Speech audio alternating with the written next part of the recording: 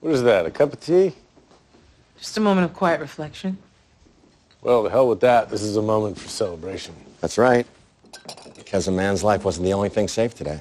Don't tell me. You managed to lock down Jim Reynolds after all. We did. The firm is safe, Jessica.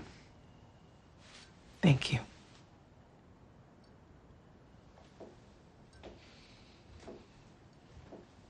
But it's not my firm anymore.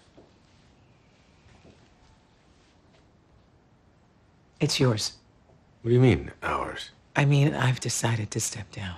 What? Jessica. Listen, somewhere along the way, I forgot why I became a lawyer in the first place, and it wasn't just to fight for money and power. It was to fight for something more. Bullshit. You're not fighting for something more. You're running away. Louis. No, we bust our ass to save this goddamn place. She decides to up and leave. We committed to this. Louis, she isn't doing this to you. She's doing it for herself. I don't give a shit why she's doing it. It's selfish and self-serving, and it's not gonna happen. Do you think I want to goddamn do this, Louis? I have to do this. You can't just throw this all away after we gave everything to save it. That's enough. Louis, after the partners left, we swore we were going to dedicate every ounce of blood, sweat, and tears we had to this place. But we didn't. Harvey and I focused on getting Mike out. Jessica and Rachel focused on Leonard Bailey, and you focused on finding love in your life. That's not true. Yes, it is.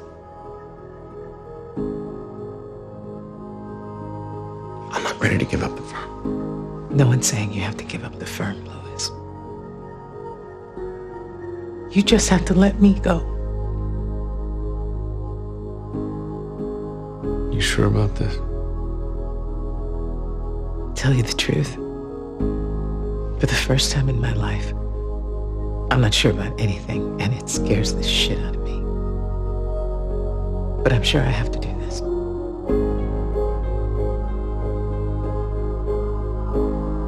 To Pearson Specter Litt.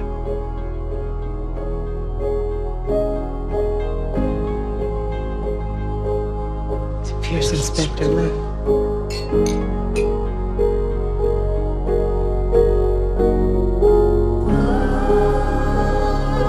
thank oh.